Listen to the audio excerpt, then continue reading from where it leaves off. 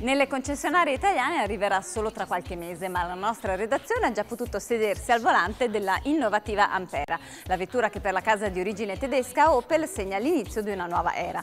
Futuristica nelle linee della carrozzeria, così come nel design interno, Ampera sfrutta tutta l'efficacia di un motore elettrico alimentato da batteria agli ioni di litio, abbinato al propulsore a benzina 1400 Voltec. I vantaggi ve li spieghiamo con il primo servizio di questa puntata.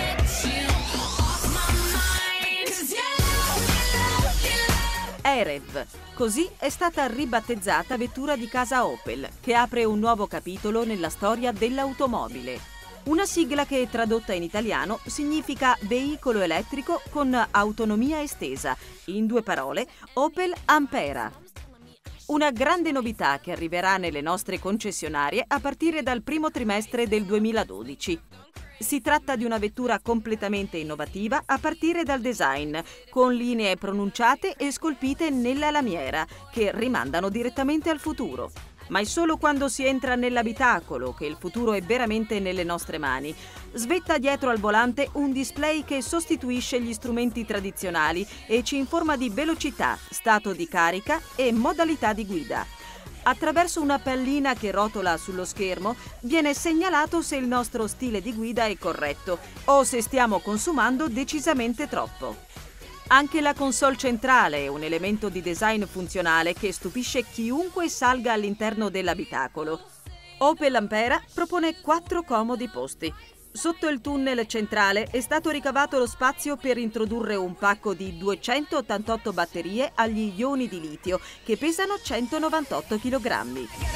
Noi sappiamo che eh, mediamente a livello europeo gli automobilisti viaggiano non più di 50 km al giorno e Ampera questi 50 km li soddisfa in puro elettrico eh, avendo un'autonomia che eh, supera i 60-70 km con le batterie. Per ovviare al, al problema che poi si incontrerebbe eh, dopo questo tratto di 70-80 km, Ampera ha un motore termico a benzina che eh, funge da generatore e manda elettricità al motore elettrico. Il motore elettrico è sempre quello che dà trazione, quindi la vettura viaggia sempre con il motore elettrico e le prestazioni sono invariate sia utilizzando eh, solamente le batterie che utilizzando anche il motore generatore.